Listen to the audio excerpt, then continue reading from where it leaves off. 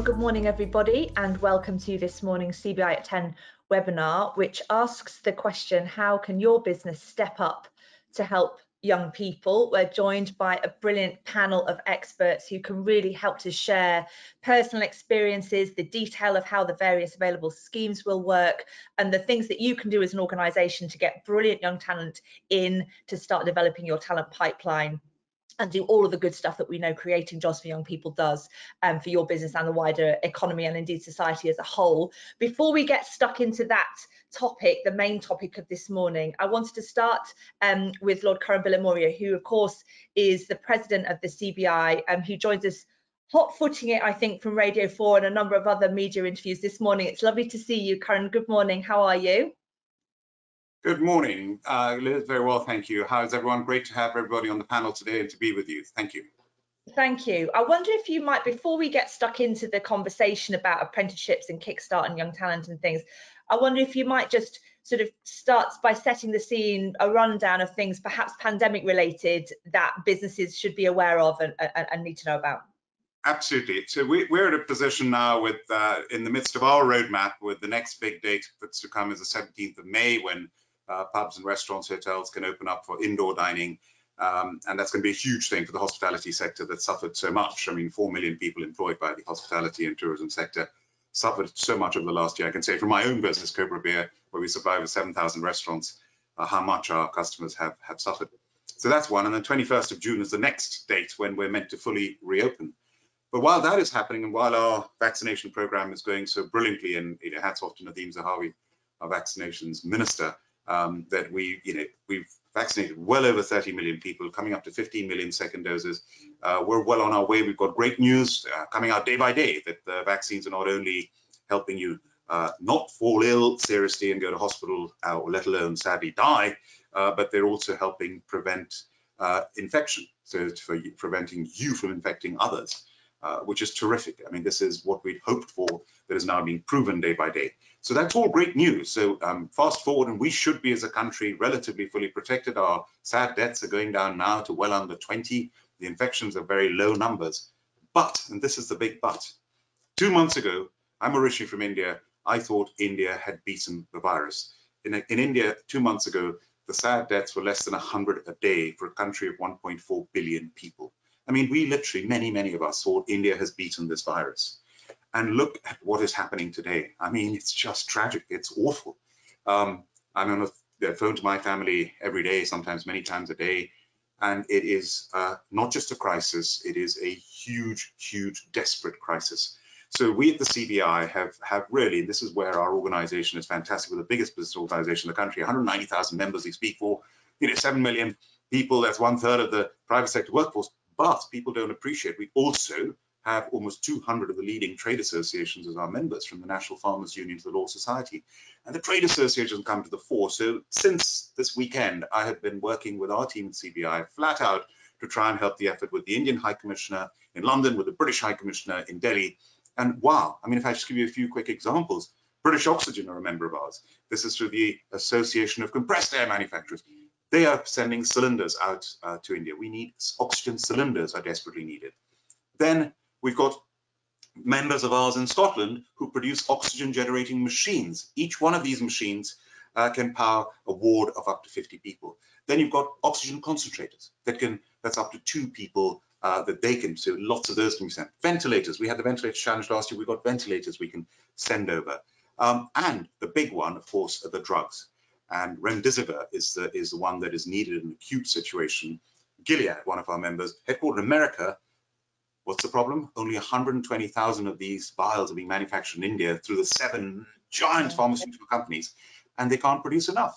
So Gilead is sending 450,000 across. That's a drop in the ocean in the last two or three days. These companies now ramping up their production in India. It'll take them two, three weeks to do that. And we're trying now to coordinate an international effort to get remdesivir from all around the world, any spare capacity to India. And then looking ahead, there's going to be PPE required. Looking ahead, there's lateral flow devices. We've now got free lateral flow testing, which we've been fighting for since last summer. I've been fighting for this, and the CBI is now free not only to businesses, but every one of us can get lateral flow devices at our home free to test ourselves.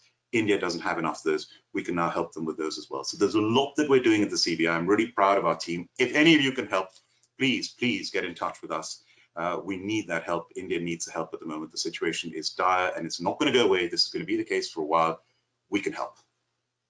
Um, thank you so much. I'm, I'm thrilled to hear the amazing work that's already been coming in, the support that's been happening with, with CBI members. Alice, I've just seen us posted in the chat um, uh, the part of the website you can go to to understand how you can engage and get involved if you feel like you've got capacity or resources or skills or something that can that can help channel um, the efforts into India. So thank you so much for that um, introduction. I'm, I'm going to have to do what what my boss James Harding now calls a handbrake turn, which is we're going from talking about this to going to talking about over there because as you say in, in, in the UK the position is sort of we've tend we've sort of allowed ourselves to feel a little bit more optimistic recently at least I, I, I certainly have. And the conversation we want to have this morning is about uh, is an optimistic conversation. We're talking about opportunities we're talking about skills we're talking about young talent. And you know young people have been really walloped particularly by the employment situation in particular of the, of the pandemic. So I wonder if you might set the scene a little bit for us um, Karan on on why we we've selected this particular topic for today's webinar? What, what makes it so important? Yes, of course. Uh, I, I, think that there's no question about it. Young people have uh, suffered hugely during this crisis, whether it's school children, whether it's university students. I mean, I, I feel very strongly that university students at the moment are still not allowed to go back to university and have teaching until the 17th of May. I mean, I've spoken about this in Parliament. I think that's wrong. I think it's illogical. I think it's unfair on the students, unfair on the universities, and unfair on our economy. Um, and then when it comes to to business, I mean, uh, ONS figures last week showed that over half of people who dropped off the UK payroll in the last year were under 25. And so we want to see a scale of investment and economic vision that will ensure uh, that young people, a young person leaving education the next few years can have a long and fulfilling uh, career. I mean, when, as Chancellor of the University of Birmingham, when I speak to our students at graduation, we talk about their future and their, their jobs. And, you know, in the past, they had a very high employment rate.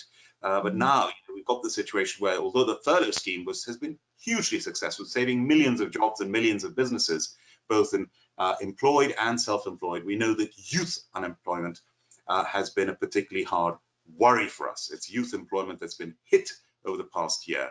So young people, uh, those under the age of 19 have borne the brunt in the drop in apprenticeship starts since the pandemic. Young people have experienced um, over a year of, as I've said, disrupted education. Um, and so there's, it's vital that employers uh, play their part in preventing uh, the long-term scarring of young people's uh, uh, employment prospects. We cannot go, when I was the National Employment Panel years ago, we'd go field visits and you would come across areas in the UK where you have three generations of family who'd never worked. Uh, we cannot have the situation after the financial crisis, uh, 2008, 2009, when unemployment nearly went up to 10%. Fortunately, thanks to the government's measures, we've now got unemployment at around 5%. It was 3.5% before the pandemic. So we've got to make sure we save those jobs and those businesses.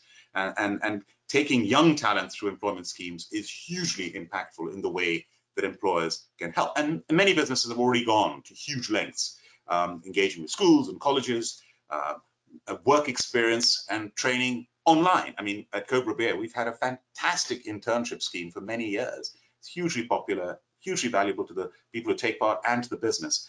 Um, we haven't been able to do that, but people have still tried their very best. So many young people leaving education in 2021 have missed out on vital early work experience, other opportunities, internships that we have not been able to carry out. Many other companies have not been able to. Uh, you get employability skills, communication, teamwork, you build confidence. So schemes like the government's Kickstart are phenomenal. Um, apprenticeships, traineeships, uh, these have employability skill development built into them. Uh, they make, they're very effective in the way that businesses can help young people whose education has been disrupted uh, by the pandemic. And so that's why um, I've written about this, I've spoken about this, and the CBI is calling out to the government, who, by the way, have listened to us throughout the pandemic in every area. I call it not a flip flop or a U turn government, it's a government that listens listens to organizations like CBI when we've asked for extensions in the furlough scheme, when we've asked, and going back to last summer, for social distancing not to be two meters but one meter based on evidence, uh, for the VAT to be dropped from 20% to 5% for hospitality. All these measures, um, the 100% bounce back loans, the government guarantee was originally only 80%. We said you need 100% for the money to flow through, they listen. Now over 1.6 million companies have benefited from government guaranteed loans, uh, approaching almost 80 billion pounds. So the government has listened, and I'm asking the government now to listen for a six-month extension of the Kickstart scheme, which is currently due to end uh, at the end of 2021.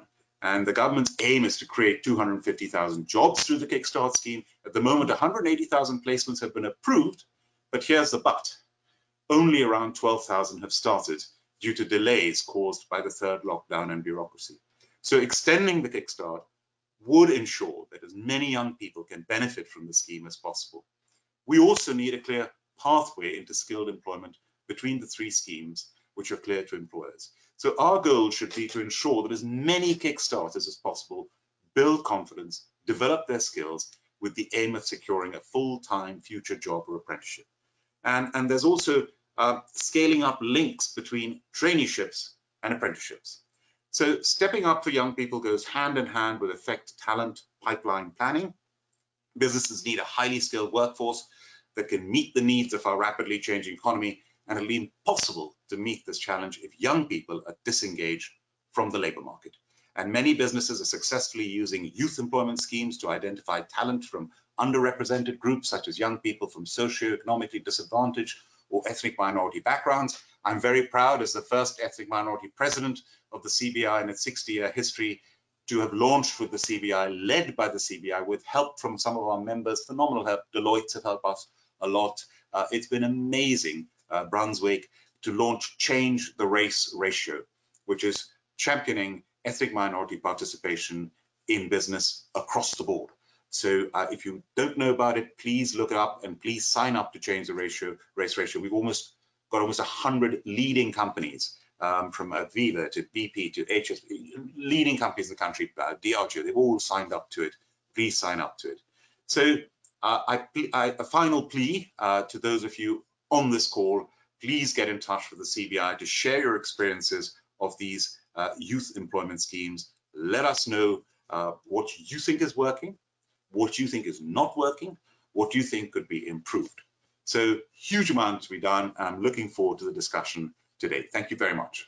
Thank you very much. A brilliant setup um, for all the reasons why this really matters and can be hugely beneficial to both the individual um, who benefits from it and the business and indeed the wider community as well. I'm going to come next, if I can, to Alyssa. Alyssa Dhaliwal, now you head up education and skills at the CBI. And I think what would be helpful if we take it as read that everybody on the call this morning is sort of phys physically, ideologically bought in and, and ready to go.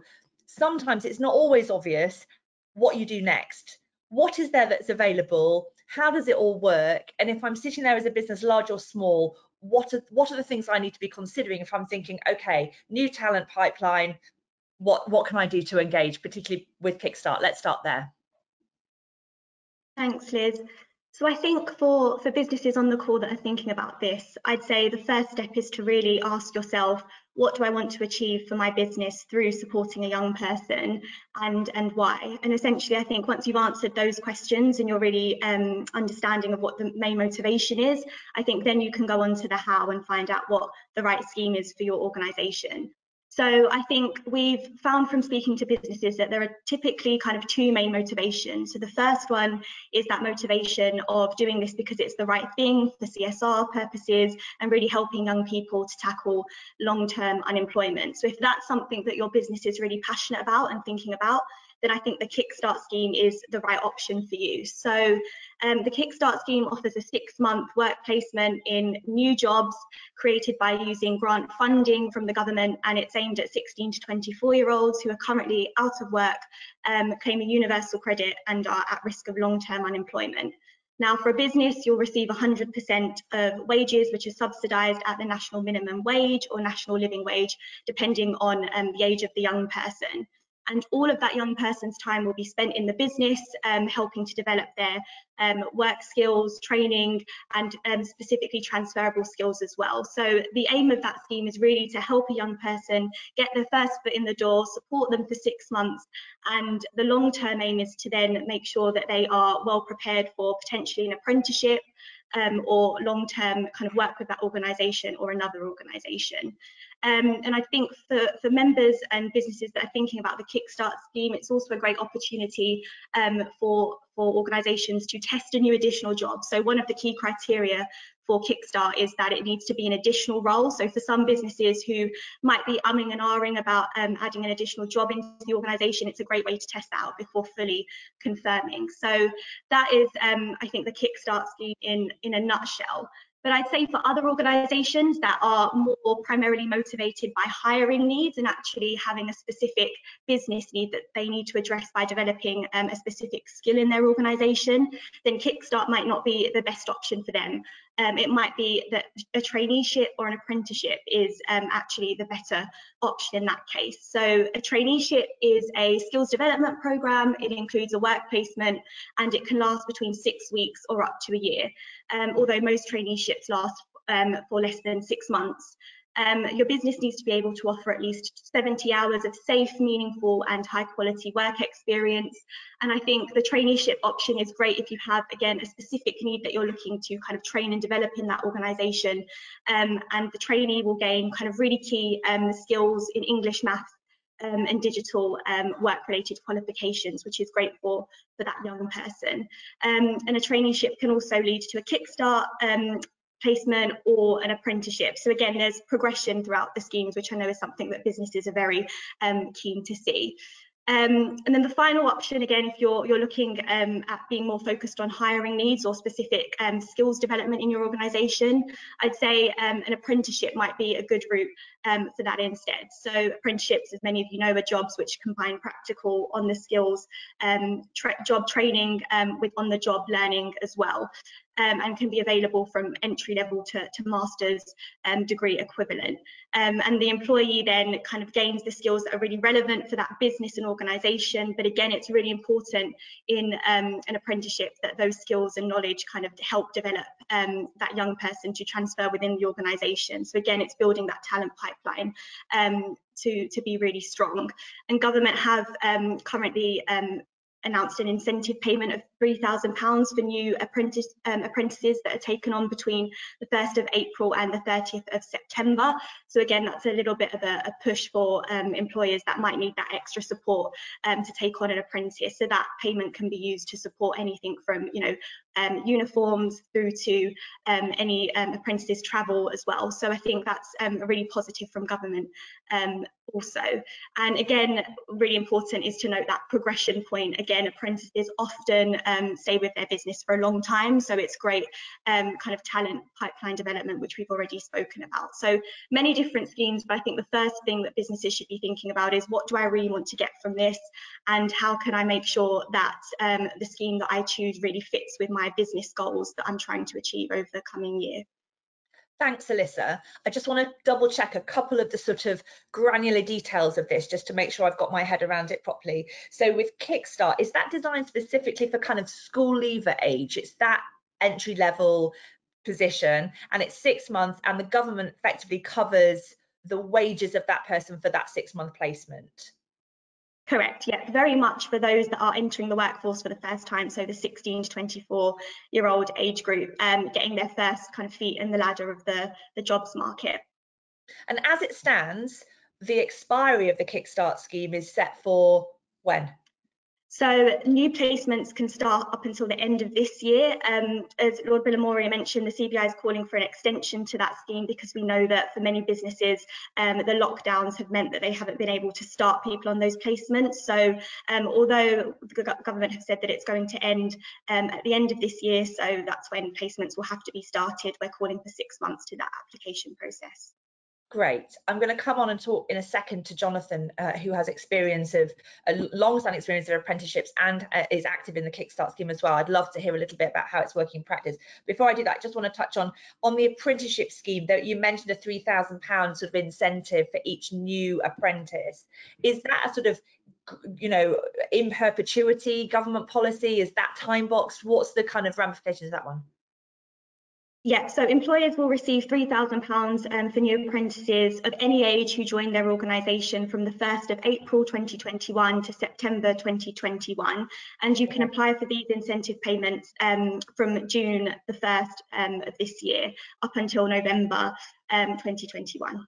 Okay, great. So there's a window of opportunity there. That's brilliant context. Thanks so much, Alyssa. I'm going to come now, if I can, to Jonathan, Jonathan Foote, um, who's head of apprenticeships and early careers at Compass Group. I've done a little bit of work with Compass Group in the past, and I know how much the talent pipeline, young talent, social mobility actually is often the framing. It, it's a huge, huge part of the culture of the organisation, not just what makes Compass unique and different, but also it makes you very, very successful. So I'm I'm thrilled that you're here this morning and to talk to us, Jonathan. Why did Compass choose to engage with Kickstart in particular? Just tell us a little bit about what your, you know, how it's going, how many you've got, all of that stuff. Yeah, thanks, Liz. So we at Compass Group absolutely committed to um, Kickstart uh, around our social mobility pledge. Um, as you said, it's, it's, the culture of our business. Um, we're very much around supporting the levelling up agenda as part of that social mobility, and we absolutely saw Kickstart um, enabling that to happen to support young people 16 to 24 um, into a, we're calling them skills development opportunity, um, and then we see it very much as a future talent pipeline, giving us the opportunity in the hospitality industry as the business um, starts to slowly reopen that we're actually developing training coaching and mentoring our future talent pipeline coming through the Kickstart program. Um, we, we, were one of the first large employers to um, put our application into DWP um, and it was seamless process um, for the first um, part of that. Um, and then we put in for 50 opportunities initially and we've just put in for another additional 150 uh, as we slowly open up and we can support these individuals in those additional placements throughout our business sectors.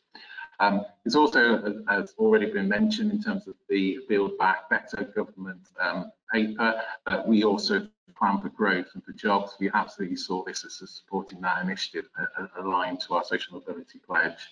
Um, we, we built it, we built a six-month structured program. Um, at the start of that program, we put in place a two-week pre-employability program because we wanted to welcome the candidates to the Compass Group family.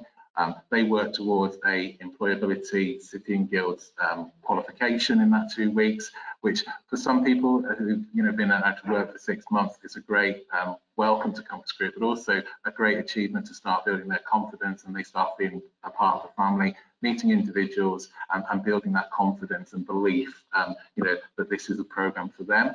They then go on to their uh, uh, Kickstart opportunity placement, and we've built in in terms of um, a platform called Flow where we use training modules that they work towards throughout that six months. So they've got their own ongoing training and development as well as the mentoring and the skills development within the work experience placement.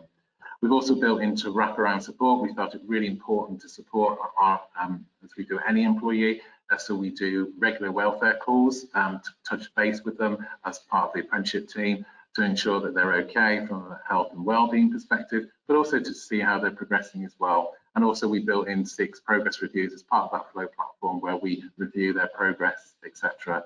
Currently got 31 uh, Kickstart uh, candidates on board and, and, um, and all 31 are still with us and they are four months into their journey of that six month window. Some of them have already been um, in terms of gone for um, job opportunities as we grow as a business and great news that this week two of them have already been offered full-time employment. And naturally for me, the next step for that is to go on to the apprenticeship programme. Um, as a large employer, we're really proud of our apprenticeship programme. We kept that going during COVID um, so that our apprentices could uh, progress and achieve aligned to the education skills funding um, compliance and funding guidelines. And that's been really successful and we're proud of that. And we very much see this as a future talent pipeline coming through being supported and moving on to the apprenticeship programme as that first rung onto the career ladder and their next uh, career progression with Compass Group. That's it's brilliant, um, Jonathan. So the Kickstart sort of cohort, the first one, um, filtering into the apprenticeships sort of next phase. I, I, know from from other conversations we've talked about how having a clear path so people can see from the very beginning from getting their city and guilds off that two week sort of course to set them on a pathway where they can see the milestones is is hugely valuable. I mean i mean it's obviously a very structured and well thought through experience. It's not a kind of here you go, 30 of you, good luck for six months and we'll see you at the end kind of thing. There's quite hard yards. I wonder, you, you're obviously good at this in Compass. You've got sort of systems and thoughts and experiences of looking after young people. If you were starting at the beginning with a Kickstart cohort or even one person, what would be the sort of critical things that you would advise an employer to put in place to make sure it's a success for both parties? Absolutely. So I, I think that the most critical thing to think of is one, why why we why are you doing this? Um, as Alicia has already highlighted, um, and then in terms of making sure um, we, we're proud of doing things small but doing them well. I think that's really important. This is a new initiative, and we were really, you know, we wanted to ensure that we had a structured program that those individuals knew exactly one what the Kickstart opportunity was in terms of when we completed the DWP job template that we submitted as, um, once we got our grants, um, and that the um, DWP job coaches were being, being, able to articulate that opportunity to those candidates when they went in and had their meeting with their job coach. Then the referral obviously comes through, and I think it's really important then that individual one knows what they're being referred for and why they're wanting that opportunity, so that we pick up those conversations. But also there's structure from day one. I think that's really important for anyone coming into an organisation, even as a new employee, that we, you know, we want to make our people feel valued and feel important and looked after from the start. And I think, you know, the structure we've put in place has absolutely done that. And from the retention rate we've had with, with the first 31 that's still on program four months now, I think that that speaks volumes. And we also, I think, through listening to them in terms of getting their feedback, because that's really important that we listen um, and gain the feedback. And, you know, when you pick up the phone and you hear a Kickstart um, candidate say that, thank you so much for this opportunity, I feel like I've got a purpose again. I, I think that speaks volumes as well. And, and, and that's for us in terms of the success of the program today yeah massively um satisfying i'm sure after all that effort. I'm going to come now if i can to liz the other liz liz bromley. Thank you so much for your patience liz because um the schemes are fantastic and if you're running a department like jonathan is where you obviously have access to resources you know what you're doing you're fully committed to it it all works brilliantly. It's a kind of tick tick tick. Now you represent um, NCG and um, you come at it from the college perspective, sort of further education college. So it's a sort of matchmaking exercise somehow. It's not always obvious as an employer. If I if I know I want the person and I've got the scheme I'm going to use, how do I find the person? From your perspective, how has Kickstart been working from the sort of from the other side? Sure. Well, for, you know, first of all, let me say how absolutely fabulous it is to hear the Kickstart scheme working in practice at Compass and the things that Jonathan has said about why are they doing it, how are they giving the wraparound support for the student. That is exactly the sort of approach that colleges, you know, die to hear for and uh, and fully fully endorse. And of course the challenge is that when you have large organizations who are motivated by the development of their staff the development of young people and creating that talented pipeline for the benefit of their organization and the economy then you've got a real easy run at it but there are mm. many businesses at this precise moment who are struggling to survive. They're worrying about the bottom line, they're worrying about their business coming back, they're worrying about what the pandemic has, has done to them in the longer term. And therefore, it's difficult for them sometimes to keep their eye on that ball of positive engagement with their young people and developing that pipeline through talent nurturing. so I suppose from the college perspective, and Karen said it right at the beginning, only 12,000 registrations so far. So it's been a bit of a slow start, which is a shame, but it's justifiable because we've been living through extraordinary times. I think it's much easier as a scheme for the larger employers to engage with because they're more likely to find 30 placements.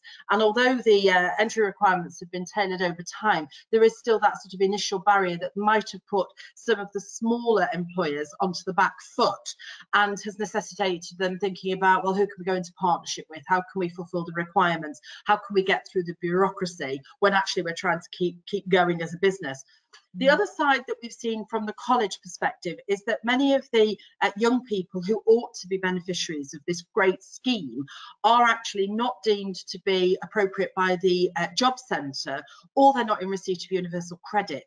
And that's two X's in the box because those are parts of the requirements for students to get into the Kickstart scheme. So you know, it's a brilliant opportunity. It needs to be finessed to make sure that the right students are getting in with the right employers who are really giving them that kickstart to their professional life and to a really successful uh, future. Um, some colleges are working with local intermediaries to deliver training that is appropriate with employers. So there's all kinds of uh, back office stuff that needs to really be smoothed out. But for me, what's the college need to do to make it easy for the employers? We need to be really clear how you do it, how you access the students, how you meet the students, how you explain what the offer is from the employer to the potential student. And the communications, and indeed things like this through the CBI, the communications need to be really clear and reinforced over and over by the employer networks, uh, by the colleges, and employers need to have the confidence to pick up the phone or even walk into colleges and say, this is what I want to do, put me in touch with the person who can really help me. and at NCG in Newcastle, we're uh, just opening um, a, an employer hub, which is going to be a very, very clearly visible front door for employers to come in and ask those really basic questions. How do I do it? How do I meet the students? What support are you going to give me? Who's going to do the training off the job? How am I going to make this scheme work for my business, for the young people I want to support, and how am I going to make them, you know, really successful going into industry?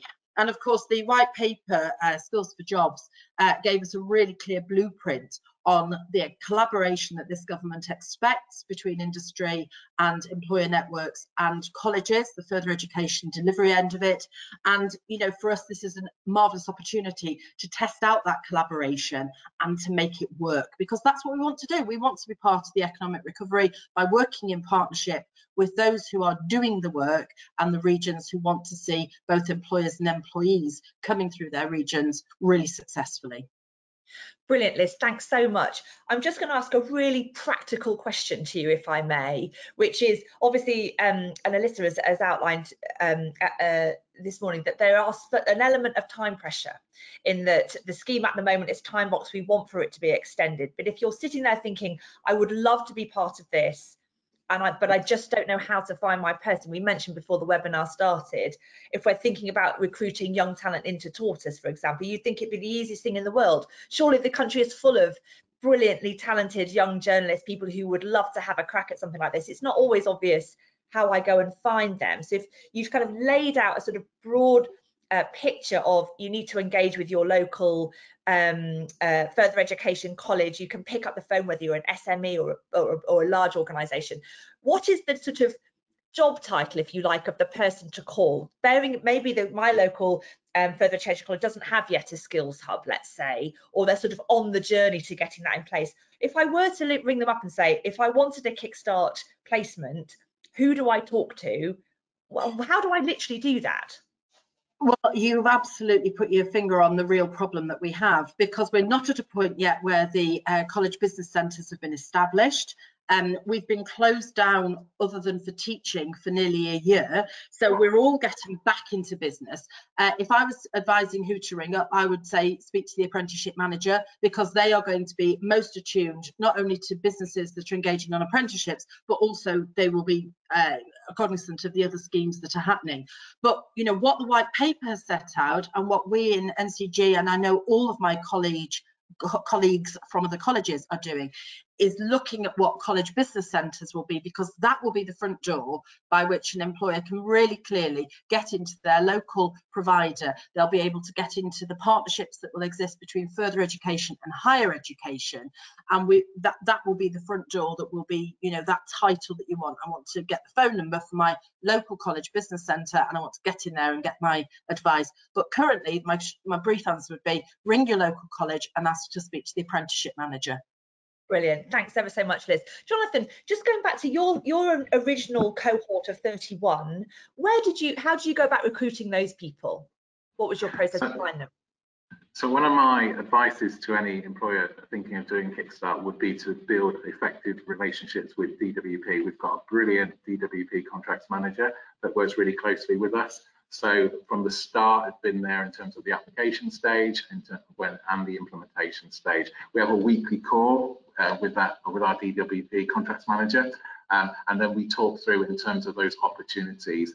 That that person then goes and speaks to all the district managers in terms of based on postcode where those opportunities are, and that builds that um, dialogue in terms of that opportunity and referrals coming through that way.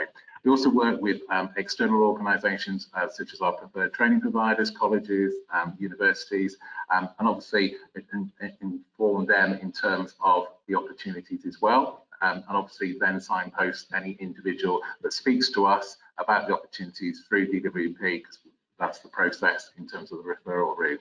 And that seems to be working really well. We've also been invited through the, um, DWP to um, jobs fairs. So the district managers have regular jobs fairs where employers can go actually on to those live events and talk about their opportunities to those uh, job coaches within each DWP district area, again promoting that opportunity. Jonathan, that's really helpful. Um, I, I, think the more practical actions we can get on the call, the, the, better. I think it's brilliant to know, well, what's my first step? Um, I wonder if you might also just to unpack a little bit, and I might come back to Liz in, in a second on this too. We've mentioned traineeships, we've mentioned apprenticeships, and obviously we've talked about Kickstart. How did you, and you sort of, um, you mentioned a little bit what you're using them for inside of Compass, the different sort of stages of people's careers and things. Are, are any one of those schemes or other ones that you might be aware of better suited to any other type of work. We've talked about the sort of degree of experience of the person, but can you deploy, for example, an apprentice or someone on a Kickstart scheme in any part of your business? Yeah, it obviously depends on the individual in terms of what their aspiration is in terms of their career journey, most importantly, and in terms of talking and identifying the right opportunity for that um, candidate.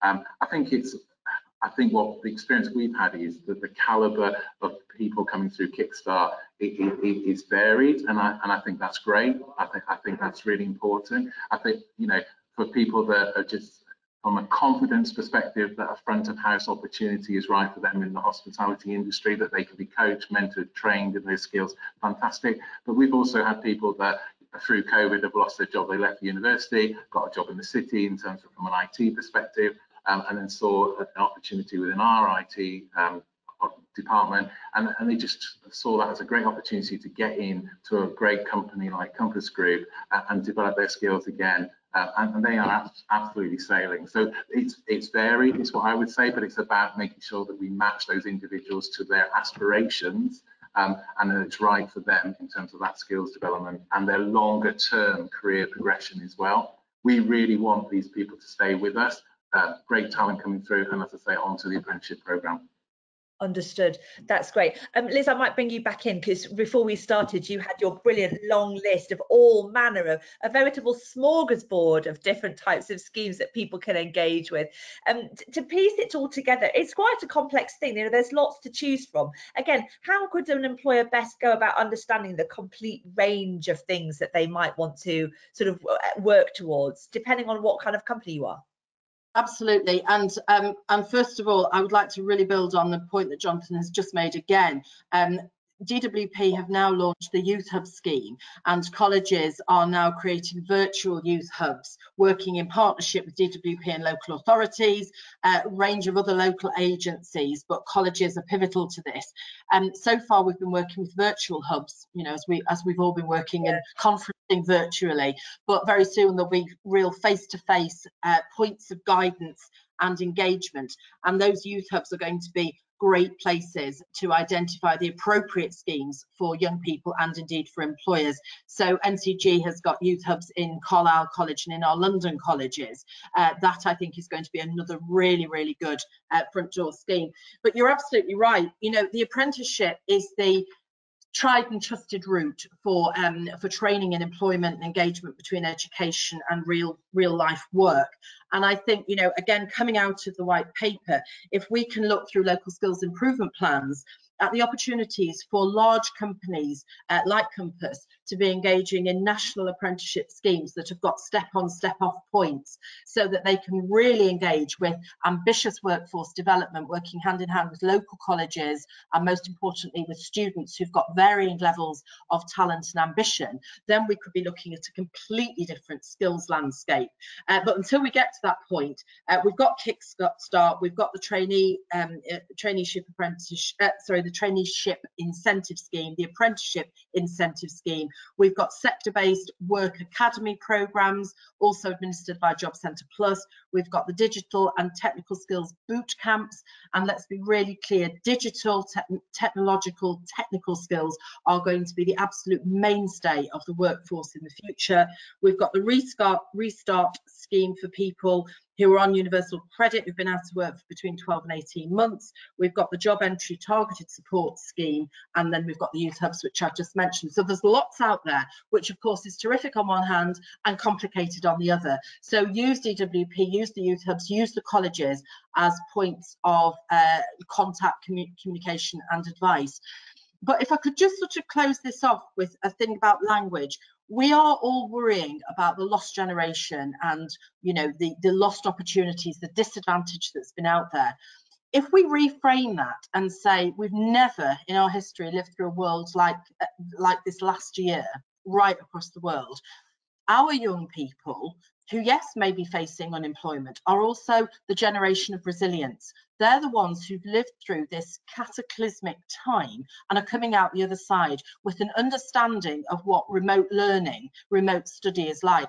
They are getting the basic training for what the world of work is probably going to look like in the future.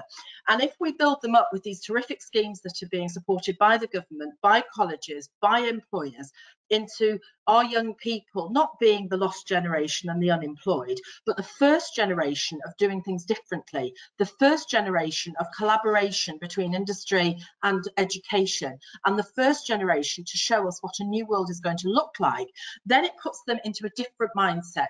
It puts employers onto the front foot, not the back foot, and it really means that we can start to shape a future under our control with a great deal of opportunities for our young people and indeed people who are coming out of one workforce and going into a new space brilliant call to arms liz. I, I love that. It's a, a, great sort of change of gear um, uh, to end on. I'm going to just before i come to back to lord Bilimoria for some closing comments i do just want to flag what alice has just posted in the chat the link to the cbi education and skills survey which is still open but closes on friday. So this is a really big opportunity for you to sort of plug in what you think you need what's working what isn't and just to sort of have your say to inform um, the the future sort of education and skills policies that come out of the the CBI and as and as Lord Bilimoria said at the beginning, the government do listen. So make sure you tell the truth and get to do a good job of the content of the survey. Um, so um, Karan, we've heard a, a, huge amount of really practical and thought-provoking and interesting experiences this morning. Um, do you want to just close us out with with, with a sort of a, a few remarks? Thank you so much, Liz. This is what the CBI is all about. What a fantastic session, real value, practical advice and insight. So Alyssa, thanks so much for setting out uh, all the options. And you know extending the kickstart scheme is so important. I mean it's like the vat reduction from 20% to 5% for hospitality. Well what use is that if your outlet is closed? You need to have it open to benefit from it. So that's why we asked for an extension for that and the government listened so similarly over here you've got a great scheme will allow us businesses to actually avail of it. Uh, jonathan thank you so much for all the fantastic um, examples from compass. I mean a, a company we all admire and, and the pipeline, the building confidence. I thought that was so important when you mentioned that. Um, apprenticeships, traineeships, kickstart, matching uh, individuals to their aspirations, uh, people feeling valued uh, and looked after, and, and you know how employees are treated. I think this, uh, going to what Liz Bromley said at the end, people are going to remember after this crisis, how were they treated? How did companies treat their employees? Uh, I feel like I have my purpose again. And the really important point you made about collaboration between the DWP, working closely, government and business collaborating. And Liz, that came right through your what you said. I was Chancellor of Thames Valley University, University of West London, so very aware of further education, higher education, the link between further and higher, communication being so important. Again, collaboration between government, colleges, employers, further education, higher education, the youth hub scheme, importance of digital, uh, and then this really important point that you made right at the end, that the lessons learned in the youth in particular, resilience, adaptation, collaboration. Wow, really powerful. Thank you so much to all of you. It's been a privilege to participate in this and thank you Liz for chairing it so brilliantly. It's my absolute pleasure. I've really enjoyed it. Thank you so much um, to Alyssa, to Jonathan, to the other Liz, and, and of course to Lord Moria as always. And um, there's no CBI webinar on Monday because it's bank holiday, but we will be back on Wednesday, so a week today, with everybody's favourite topic of Brexit and customs because it seems like that hasn't gone away yet. Um, have a great weekend, everybody, and um, I'll see you next week. Take care. Bye.